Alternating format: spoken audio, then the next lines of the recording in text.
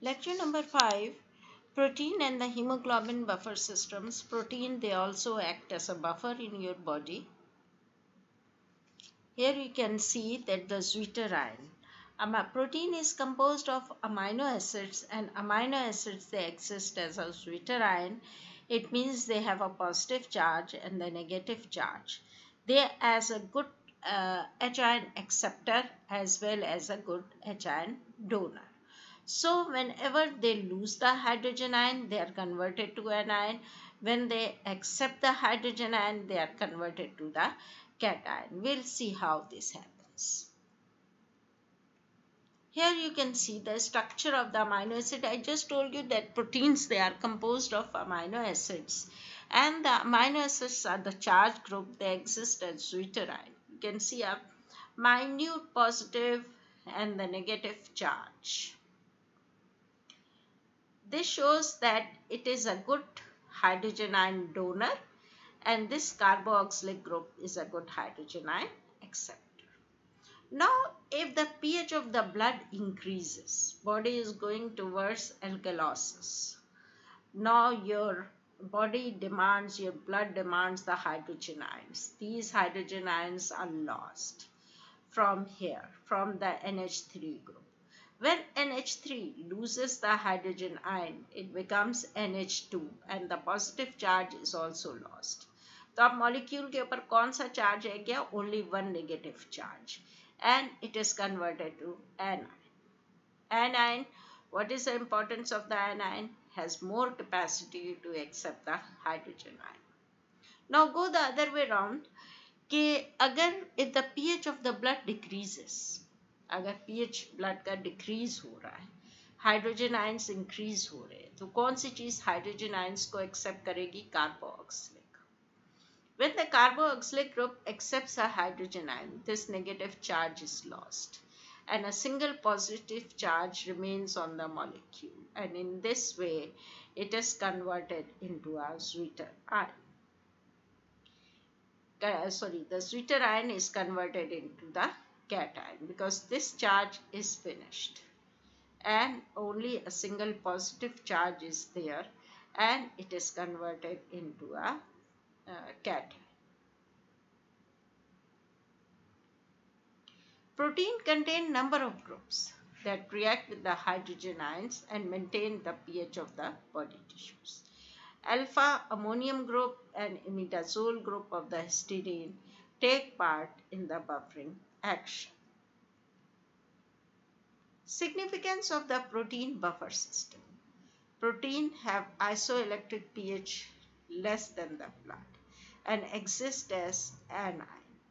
Therefore, they are good hydrogen ion acceptors. देखो कितनी बड़ी बात है कि जितने आपकी बॉडी में प्रोटीन्स हैं उनका आइसो इलेक्ट्रिक पीएच जो होता है वो ब्लड के पीएच से कम होता है and therefore they exist as the anion और एनाइन अभी मैंने पीछे आपको दिखाया they are good acceptors of the hydrogen ions so protein it combines with the hydrogen ions it forms the H protein carbon dioxide is directly fixed without passing into the carbonic acid state ये देखो यार carbon dioxide है ना, इसको हमने दो H के दरमियान फिक्स कर दिया। In this way without passing into the carbonic acid state, the carbon dioxide can be fixed. Hemoglobin buffer system. Buffering of the hemoglobin is due to the imidazole group of amino acid histidine. Very important from the uh, MCQ point of view. Histidine की वजह से imidazole group histidine की वजह से इसकी buffering capacity होती है। At the pH at the blood pH the concentration of histidine is high haemoglobin buffer carbon dioxide efficiently carbon dioxide carbonic acid ये बाई कार्बोनेट आयंस होते हैं। और ये जो हाइड्रोजन आयंस होते हैं, ये हीमोग्लोबिन के साथ मिलके एच एच बी बना amount of the carbon dioxide buffer depends on the amount of the hemoglobin present in the blood. जितना ज़्यादा हीमोग्लोबिन होगा उतने ही ज़्यादा हाइड्रोजन ions इसके साथ कंबाइन करेंगे और रिड्यूस्ड हीमोग्लोबिन बनाएँगे Hemoglobin controls the pH because the two forms of the hemoglobin differ in their pK values. देखो यार pK को रिवाइज करो थोड़ा. What is pK? pK is the dissociation constant. Deoxyhemoglobin means this form. It is very important. Why? Because it is very strong in binding the hydrogen ions. ये hydrogen ion को आसानी से छोड़ता नहीं है ठीक है एक दफ़ा बाइंड हो गया तो बड़ी मुश्किल से रिलीज़ करता है to produce acidity in lungs lungs में क्या होता है? आपने इंस्पायर की होती है ऑक्सीजन ऑक्सीजन का प्रेशर ज़्यादा होता है. HbO2 की कंसंट्रेशन ज़्यादा होती है and the blood becomes acidic ये देखो. प्रेजेंट इन द लंग्स ठीक है? ये टिश्यू से आ रहा है ब्लड ये बात याद रखना. गंदा खून जो है ना ये टिश्यू से आ रहा है reduced haemoglobin this combined with oxygen oxygen haemoglobin क्या करता है जहाँ उसने ऑक्सीजन को देखा हाइड्रोजन आयन से दोस्ती छोड़ दी hydrogen ions are separated. They make your blood acidic and oxygenated hemoglobin is formed and this oxygenated hemoglobin goes to the tissues. ये देखो, कितने मज़े की फिगर है ये। ये आरबीसीज के अंदर ये हो रहा है राइट ये देखिए, आपने इंस्पायर किया ऑक्सी हीमोग्लोबिन बन के। आपने ऑक्सीजन अंदर ली, जल्दी से ऑक्सीजन अंदर लो, ठीक है? इंस्पायर करो। ऑक्सीजन ने जस्ट इमेजिन कि oxygen has combined with your haemoglobin ये देखो ऑक्सीजन अब ये टिश्यूज को जा रही है। हीमोग्लोबिन जो है ये हाइड्रोजन आयन से कंबाइन कर रहा है। ठीक है? It combines with the hydrogen ions it forms reduced haemoglobin ये कार्बन डाइऑक्साइड टिश्यू सेल से आ रही है और ये टिश्यू सेल से कार्बन डाइऑक्साइड जो है, ये it combines with water it form carbonic acid it forms bicarbonate plus hydrogen ions and bicarbonate it goes to the plasma अच्छा यार यहाँ मज़े की बात देखो कि hemoglobin will release oxygen only when it finds the hydrogen ions अब यार हाइड्रोजन आयंस कहाँ से आएँगे hydrogen ions they come from the cell metabolism आप जो भी खाते पीते हो वो ऑक्सीडाइज होता है carbon dioxide is formed this carbon dioxide from the tissues it goes to the blood and in the blood capillaries with the help of the enzyme carbonic anhydrase it forms carbonic acid Carbonic acid is decomposed into bicarbonate and this bicarbonate and the hydrogen ions. Hydrogen ions they combine with the hemoglobin and bicarbonate is goes to a plasma and it is carried to the lungs again. अच्छा अब यहाँ पे आप देखो कि ये ये जो हीमोग्लोबिन है ना रिड्यूस्ड हीमोग्लोबिन ये वापसी लंग्स में चला जाता है ठीक है लंग्स में जाने के बाद क्या होता है this hydrogen combines with the bicarbonate it forms the carbonic acid and this carbonic acid then decomposed into carbon dioxide और वो carbon dioxide आप actually expire कर रहे हो ठीक है so this hemoglobin is carried to the lungs and this is also carried to the lungs through the plasma And in the lungs these two are combined together again hydrogen combines with the bicarbonate it forms a carbonic acid carbonic acid is decomposed into carbon dioxide and water और अब haemoglobin जो था वो फारिग हो गया अब ये क्या करेगा ये ऑक्सीजन के साथ कंबाइन करेगा and this oxygen is carried to the tissues here you see, in the lungs, in the peripheral tissues, oxygen is low. ज़ाहिर है ऑक्सीजन जब तक आएगी नहीं लंग्स से हीमोग्लोबिन लेके आएगा नहीं तो कैसे होगा लंग्स में ऑक्सीजन का सोर्स तो लंग्स है ना जो आप इंस्पायर करते हो hydrogen ions combine with the haemoglobin tightly and acidity is not produced since pK is large मैंने आपको बताया था ना जब भी पीके लार्ज होगा तो डिसोसिएशन जो होगी, वो स्मॉल होगी। अब आप देखो यार लंग्स में क्या होता है? लंग्स में हाइड्रोजन आयन से HPO2 है। ये देखो HHB फॉर्म हो गया ऑक्सीजन टिश्यूज को चली गई, ये अभी आपने देखा। अच्छा अब टिश्यूज में क्या होता है? कार्बन डाइऑक्साइड वाटर ये मिलके क्या बनाते हैं? कार्बोनिक एसिड हाइड्रोजन आयंस और बायकार्बोनेट ये सेम वही चीज़ है जो अभी डायग्राम से मैंने आपको एक्सप्लेन किया है. And this carbon dioxide is produced by the tissue metabolism high hydrogen ion concentration favours the release of oxygen from H P O two जितना ज़्यादा हाइड्रोजन आयन होंगे, उतना ही ज़्यादा वो कहेंगे कि भाई छोड़ो ना ऑक्सीजन को, अब मेरे साथ दोस्ती करो, ठीक है? So the more hydrogen ion the more will they favour in the release of oxygen ये देखो। ये वही वाली डायग्राम है, अभी मैंने कॉपी की है जो यानी the more the hydrogen ions they will combine with the with the hemoglobin. Hemoglobin will release oxygen oxygen will go to the tissues, and this will form the strong complex HHB जो कि मैंने आपको बताया ये lungs में दोबारा जाएगा। Lungs में क्या होगा कि हाइड्रोजन आयंस अब भाई आपने ऑक्सीजन तो ले ली यार, अब कार्बन डाइऑक्साइड भी तो बाहर निकालना है ना।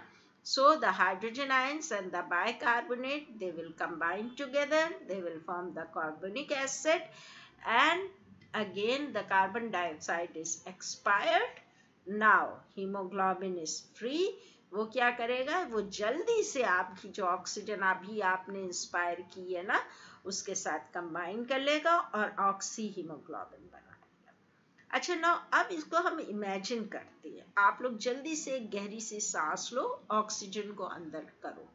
और ये इमेजिन करो कि आपके लंग्स में इस वक्त ऑक्सीजन है और haemoglobin this haemoglobin it binds with oxygen अब ये ऑक्सी हीमोग्लोबिन आपके टिश्यूज की तरफ़ जा रहा है ताकि ऑक्सीजन सप्लाई करे। But it will not supply oxygen unless it finds the hydrogen ions इसको कोई हमेशा एक पार्टनर चाहिए होता है। ये उसी वक्त ऑक्सीजन रिलीज़ करेगा whenever the hydrogen ions are release to combine with haemoglobin so अब ये हाइड्रोजन आयंस कहाँ से आएँगे यार? आपके टिश्यूज भी तो कुछ कंट्रीब्यूट करें ना, सिर्फ़ ऑक्सीजन ले ली है तो अब ये क्या करेंगे ये carbon dioxide they will produce in exchange carbon dioxide this carbon dioxide small amount of this carbon dioxide is dissolved in plasma whereas some of this it combines with water to form carbonic acid which is decomposed into bicarbonate and the hydrogen ions ये hydrogen ions हैं जो कि haemoglobin के साथ combine करेंगे ताकि वो oxygen को रिलीज़ करें। ठीक है? And this again goes to the lungs अब आपने ऑक्सीजन तो ले ली, अब आपने कार्बन डाइऑक्साइड भी निकाल ली है ना? They will go to the lungs the bicarbonate will go to the lungs और वहाँ पे लंग्स में जाके ये दोनों फिर रिएक्ट करेंगे। Carbonic acid will be formed and the carbon dioxide will be formed and this carbon dioxide is expired through the lungs. Same thing I have mentioned here HHB and the bicarbonate both are carried to the lungs Bicarbonate combined with the hydrogen ion, HHB will be formed to form carbonic acid and carbonic acid is decomposed to form the uh, carbon dioxide and water. Now, free hemoglobin is free. ठीक है ना उसने अपने hydrogen ions दे दिए थे these hydrogen ions they combined with the bicarbonate to form the carbonic acid and the carbon uh, carbonic acid is decomposed into carbon dioxide and water and now free hemoglobin is ready to combine with more oxygen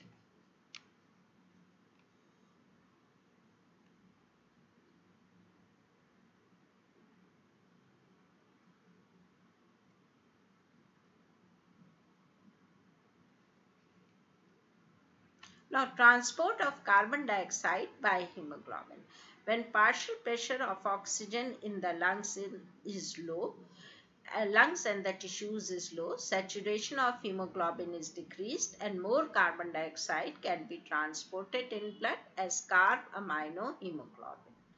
When hemoglobin is in the HHB form, it become easier for carbon dioxide कि वो जल्दी के साथ haemoglobin के साथ combine कर ले और कार्बोक्सी हीमोग्लोबिन बना ले और कार्ब अमाइनो हीमोग्लोबिन बना ले हेयर यू कैन सी अच्छा अब यहाँ पे आप देखो ऑक्सीजन जो है, वो आयरन के साथ कंबाइन करती है, वो हीम के साथ कंबाइन करती है राइट जबकि कार्बन डाइऑक्साइड जो है, ये प्रोटीन के साथ कंबाइन करती है, ये हीम के साथ नहीं करती है, ये प्रोटीन के साथ करती है। And here you can see the hydrogen ions are released by the action of the carbon dioxide significance. What is the significance of this buffer system? Due to large capacity of this buffer system much of the carbon dioxide can be taken by blood as bicarbonate as well as released by the decomposition of carbonic acid okay? Because hemoglobin is present in large concentration. And carbon dioxide you know whatever carbon dioxide is taken it is converted into bicarbonate and you know that hemoglobin buffer system it works together with the bicarbonate buffer system. क्यों? इसलिए कि तीनों यार RBC के अंदर हैं। Haemoglobin भी RBC के अंदर है बाइकार्बोनेट बफर सिस्टम भी आरबीसी के अंदर है और कार्बोनिक एनहाइड्रेस भी आरबीसी के अंदर है। सो so, ये तीनों जो हैं ये कार्बनिक ये आरबीसी के अंदर है। तो ये एक फैसिलिटी है कि ये दोनों सिस्टम्स जो है ये वर्क कर सकते हैं hemoglobin is more efficient than the protein buffer because ये कुछ फैक्ट्स हैं one gram of haemoglobin bind 0.183 milliequivalent of hydrogen ions 1 gram of protein binds 0.110 milliequivalent of hydrogen ions. Hemoglobin of 1 liter blood binds 22.7 uh, 27.5 milliequivalent यहाँ पे देखो कितना फ़र्क है। Haemoglobin एक लीटर ब्लड का 27.5 मिली इक्वेलेंट हाइड्रोजन से बाइंड कर रहा है और प्लाज्मा प्रोटीन्स जो है वो 4.24 से बाइंड कर रहे हैं। इसी तरह से एक gram haemoglobin 0.183 milliequivalent of hydrogen ion से बाइंड कर रहा है। 0.1 gram protein 0.110 milliequivalent of hydrogen ion से बाइंड कर रहा है। Now this completes the lecture number 5 it completes the lecture number uh, the buffers the acids and the bases the buffers buffer capacity all these. Now we'll, we are moving towards the next part of the lecture that is the osmosis and the osmotic pressure